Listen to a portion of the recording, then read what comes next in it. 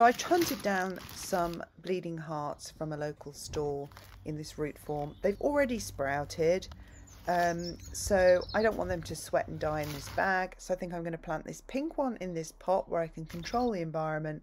I'm going to plant these white ones in a more, well, they're both shady areas, but I'm going to pop them over there under the tree where the cat and the dog are heading right now.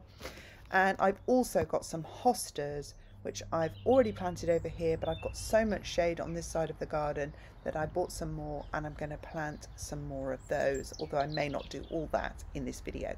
But let's get into it.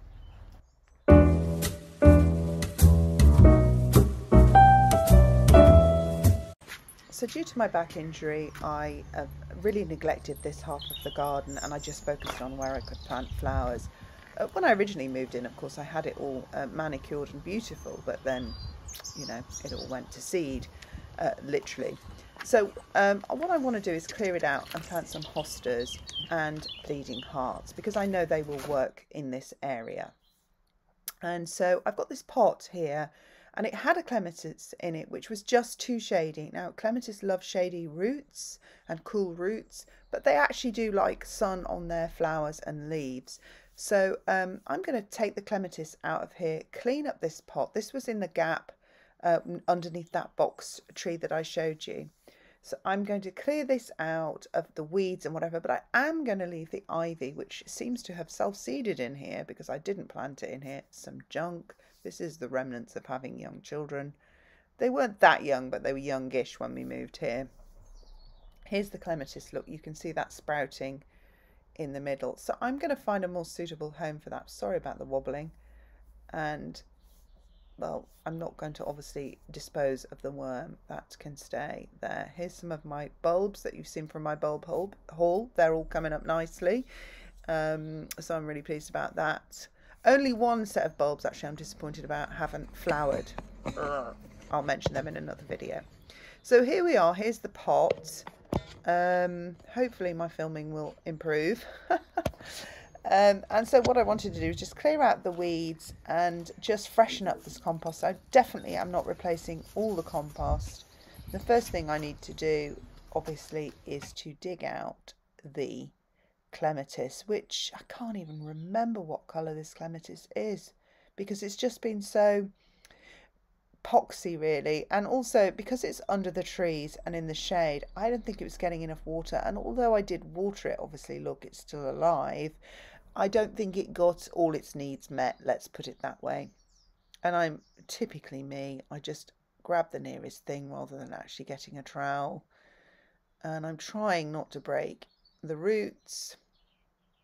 Look at those roots. The roots are pretty good on it. So I'm definitely going to save that and um, plant that somewhere else where it will get more sun. So then I'm going to loosen the soil around the area where I'm going to plant the bleeding heart and I'm going to add um, some feed and some extra compost just for um, you know to freshen it up so to speak because I think the bleeding heart is a pretty um, robust plant it doesn't need pampering like so many of the flowers that we grow. Um, the bleeding heart is not really that way inclined. Of course, I'm going to be eating my words, aren't I, if it doesn't come up. But the reason I wanted it in this pot is because I actually want to be able to see it when I'm having my coffee in the morning. And this will just be right in my eye view. And it also means I can control it because Yes, that the feed is just fish blood and bone there. Look, I don't know where the camera is. Look how amateur I am. anyway, I will work all this out. I promise you my videos will improve. Um, so what was I saying? Yeah, so I want, because I haven't cleared the whole area out underneath those trees yet, I wanted to have control uh, over where these plants are popping up. I wanted to know where they're going to be. So I decided that I was going to put this in this pot and then I can have it just um, on the terrace but just below the box and that is exactly where I'm facing when I have morning coffee on mornings that are warm enough. so just mixing it in with my fingers and now I've got to get this out. So many of these have sprouted already that I have opened all the bags and left them all outside because they've all been in a hot shop sweating away. So I hope this hasn't impacted them too greatly. And this is a Dicentra spectabilis and um, this one hadn't sprouted I don't think yet. Oh yes it has, look just a little bit. And this only needs planting an inch or so um, below the top level of the soil. So in this case, I'm probably going to work it so that the very tips of the sprout will be just on the surface level, just below the surface level. Um, make sure there's no weeds left in there, of course. And just sort of um, just the soil around so that the, the soil gets in around the plant and that there aren't um, air pockets there. And then I'm going to top dress it also with um, some bark chippings just to make it look more attractive. And I don't want to waste the soil, so I'll throw that in. I think that was a bit of rotted off stem, so I hope this is going to be okay there. Just so, uh, to let you know, if you do have bloodfish and bone around, um, the dogs may dig away at the pot, so you probably need to cover it or something. I use chicken wire or um, hard wire, hard cloth as you call it, which I also buy from Amazon. So perhaps I'll link that below for you as well. Um, and I just snip it with pliers into the right shape, right size, and then I bend it over the top just until the plant gets established. Because I find that once the plant is established, the dogs don't bother so much um, digging it up. It's just they can't resist that bare soil, and if there's a, a particularly um, attractive scent to them underneath, then oh my goodness, I mean, I have lost countless plants to terriers digging them up. So that's watered in and then I'll try and just clean up the pot a bit, um, make it look a bit more attractive and then it's going to sit there and I think that'll be really nice if that ivy also, um, that's just purely self-seeded ivy. I seem to have a lot of ivy self-seeding all over my garden actually. Uh, so I need to keep an eye on that because it obviously can also be a nuisance. Here's where I planted some hostas and this one has already emerged. I mean, I just can't believe that. But we've had two I mean, it's the beginning of Feb February. Like when I filmed this was like the third of February. It's now like the fourth or fifth.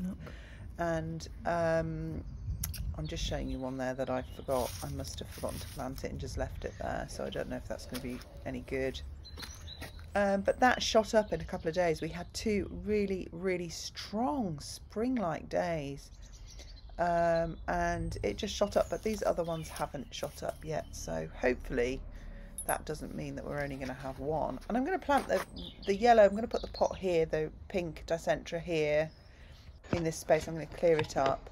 And this is my terrace. And this used to be beautiful. I can't believe, you know, how, um, you know, things just, when you can't be at them every day, how, how quickly things deteriorate. But, uh, uh, you know, I'm back on the men now. So let's get this sorted.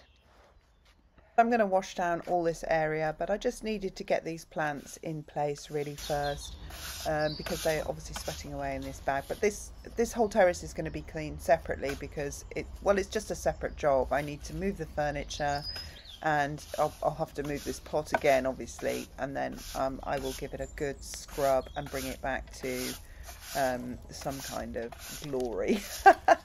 um, so don't for any uh, minute think that this is me thinking this job is finished. It's it's not. The whole garden is is being worked on. So, but that's going to be a really nice view, and those hostas are going to grow up behind it. So it's going to have a really nice green background.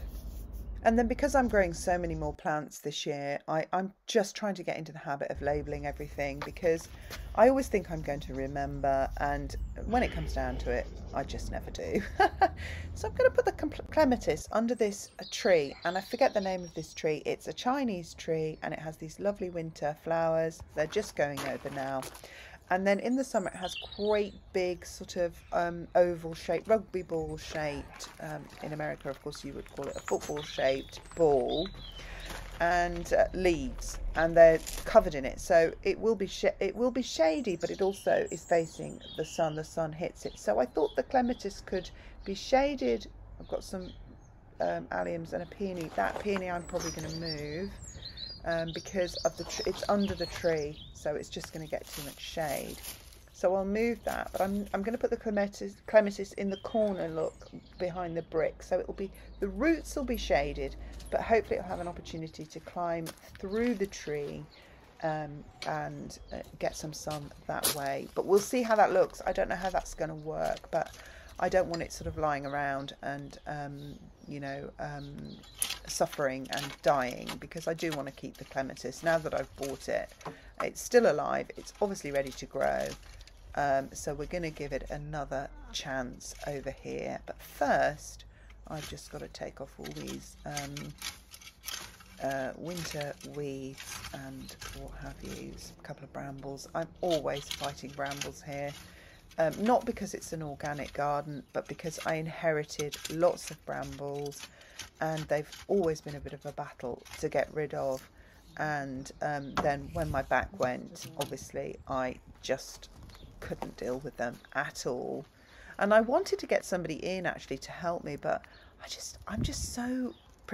The last time I got a gardener in to help me, he just mowed over all my plants and just pulled everything up. And that um, is not what I want in a gardener. And um, I, I realised that it, people, I, I don't even know where all my plants are. So I don't know how I could expect a gardener to know where they all are. So I am a little bit controlling about that in a way. So I don't have a gardener at the moment, and I should have really got one when my back was sore. But anyway, never mind. Here we are now. And so I'm just going to put it here because I know the roots will be shaded here. But the sun comes in from so from the right of the sorry the left of the screen it will come towards the corner of the brickwork there so that the clematis can climb up through this tree towards the sun and it's just not densely shaded. The only reason it's shaded and it doesn't get the sun is because of the brick behind and the leaves. When this is covered in leaves it will be shaded. So I'm hoping the clematis will have enough time during this winter period to get going because it will get some light and um, it should get rain here. So it will be better um, protected from drought than in the pot under the tree in the shade. So we'll see, we'll see. It could just be really weedy clematis, I don't know. So again, I'm just going to enrich the soil, add a bit of food, and um, I'm going to plop it in and hope for the best. No, I'm going, obviously I'm going to water it in and take care of it. I hope for the best is not really the right thing to say.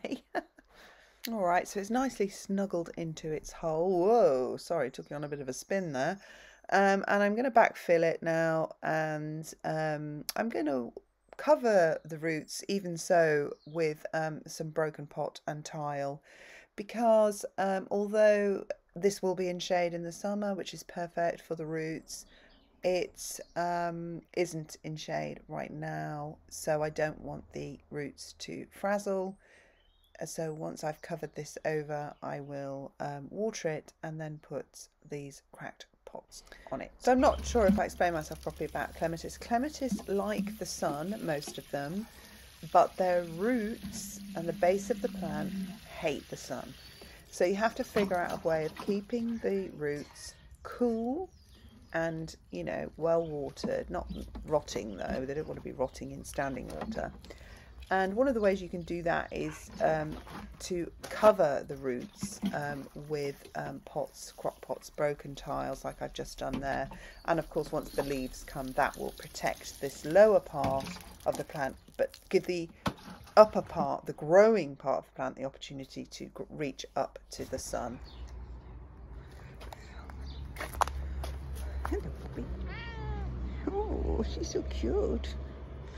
So this patio obviously needs uh, replacing. I'm going to put actually just gravel on top of it. And there's the other view of all that. So there's lovely box and a bay there and all this undergrowth where I want to plant all these hostas and bleeding hearts um, I've tried anemones here, I've tried all sorts and nothing really takes off well, but I hadn't tried hostas or bleeding hearts. Um, so let's give that a go. And although I do want um, you know, my garden to be organic and more natural. I'm not hugely bothered about things being super manicured. Um, but I do want it to look attractive, which it kind of doesn't look that great at the moment, let's face it. So there we go. So I will crack on with my jobs and um, see you in my next video. Thanks for watching. Bye.